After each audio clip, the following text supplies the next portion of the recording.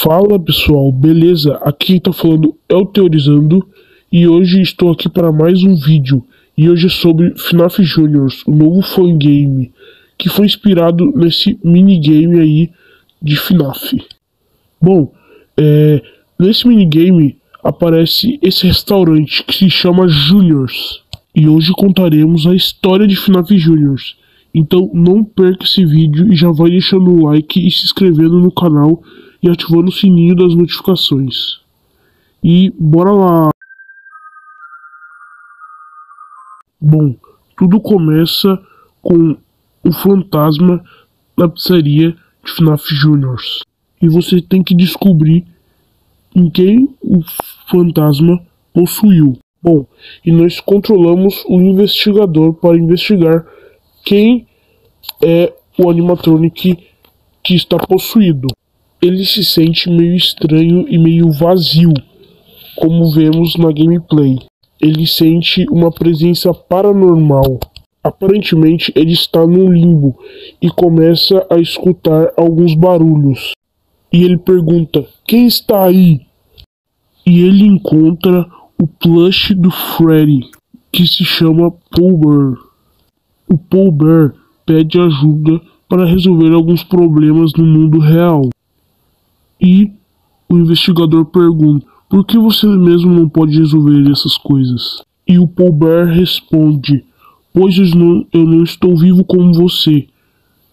Uh, estou preso aqui. E o Paul Bear faz uma proposta que se o investigador o ajudasse com esses problemas, uh, ele irá ajudar o investigador na, nessa investigação de encontrar quem está possuído. E começamos nossa primeira noite no FNAF Juniors. Depois que terminamos a noite 1, nós voltamos para o limbo para conversar com Paul Burr. E ele diz que o mesmo fantasma que estava assombrando o FNAF Juniors por anos continua assombrando. E o Paul Bear diz que mentiu para o investigador lá na primeira noite. Ele diz que qualquer fantasma do mundo real pode passar para o limbo. Bear diz que ele está muito nervoso, por isso não volta para o mundo real. E nós começamos a noite 2. Depois da noite 2, nós encontramos uma fita, só que não sabemos se iremos assistir ou não. Bom, nessa fita vemos que temos o Paul Bear levando um braço uh, animatrônico para a Mango. No final da fita vemos que começa a tocar uma música, a fita começa a ficar vermelha e uh, vemos alguns bracinhos parecidos com o da Mango e a fita acaba. No limbo o Paul Bear fala que tem muito medo da Mango, ou seja, podemos ver que talvez ela seja a vilã do jogo. E o Paul Bear diz que talvez o fantasma esteja construindo um novo corpo, que no caso é a Mango. E começamos a terceira noite. E nós encontramos uma segunda fita. Vemos que dessa vez o Paul Bear está montando o desenho da Mango. Vemos que aparece o Bonnie e um fantasma feito de papel entra no corpo do Bonnie e vemos que é que nem na outra fita, que o Paul Bear levou o braço para a Mango, mas dessa vez foi o Bonnie que levou uma parte de animatronic. E aparece o Paul Bear segurando uma foto de dois melhores amigos, Freddy e Bonnie, se abraçando, mas Bonnie uh, foi corrompido pelo fantasma. Nós chegamos no limbo, mas vemos que Paul Bear não está mais lá. Subimos umas escadas e chegamos até um lugar. Ele encontra o Paul Bear e diz bem assim: Estamos ficando sem tempo, minha investigação está quase no fim. O Paul Bear diz que isso é um grande problema. O Bear diz que eles precisam sinalizar o fantasma e invadir aquela coisa que eles estão mais protegendo, que é a Mango eles decidem que depois irão pegar o fantasma de surpresa. Eles irão chegar no porão e descobrir como sair dali. Daí, o Paul Bear diz que nunca teve um amigo como um investigador. E começamos a quarta noite. Depois da quarta noite, achamos a próxima fita, que mostra a Tica dormindo e sonhando com pizza, até que o Bonnie vai na cama dela e o fantasma sai do Bonnie e entra na Tica. Ela acorda no meio da noite e vai até a sala da Mango, com outra parte animatrônica. No final da fita, vemos que aparece uma garra e um barulho de metal batendo. Paul Bear pergunta para o investigador se ele está pronto para entrar no desconhecido.